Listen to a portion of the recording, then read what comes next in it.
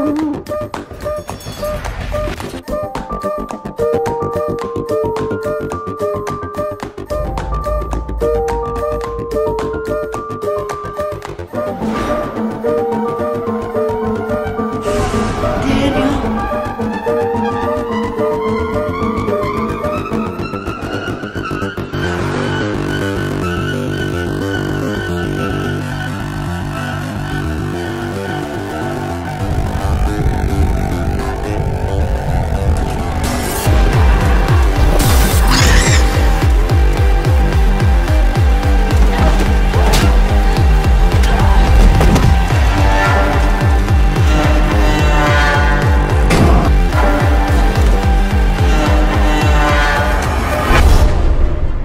He's weak, he's lonely, and he's nothing without me.